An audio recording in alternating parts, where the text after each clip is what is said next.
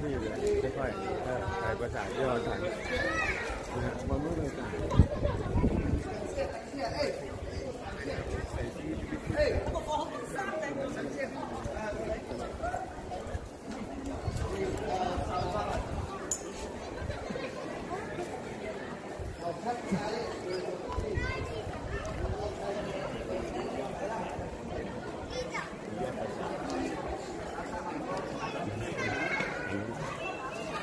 จะเดินจะพูดนะ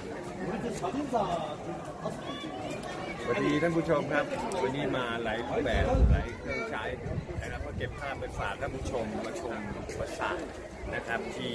เขมรอย่าเชื่อนะครับเรียกว่าใหญ่ที่สุดแล้วก็สวยงามที่สุดแล้วก็เก่าแก่ที่สุดเลยก็ว่าได้นะครับในยุคนี้นะมีคนหลั่งไหลมาเที่ยว มากราบมาไหว้นะข้างในจะมีพระด้วยนะครับ เดี๋ยวเรามีไกด์และก็แนะนำท่านผู้ชมได้ชมว่าจุดไหนสำคัญบ้าง จุดไหนสำคัญแล้วก็ประวัติศาสตร์มาอย่างไรไปอย่างไรนะครับเขาจะมีไกด์ ผมพาผู้ชมมาชมเนี่ยถือว่าเป็นความรู้ให้ผู้ชมที่อยู่ประเทศไทยที่จะเดินทางมาเขมร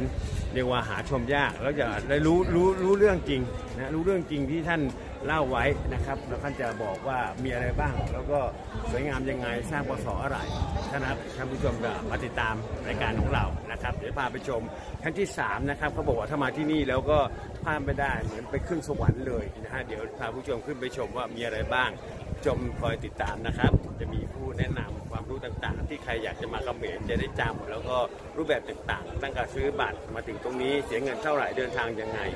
นะครับท่านผู้ชมไปด้วยกันครับ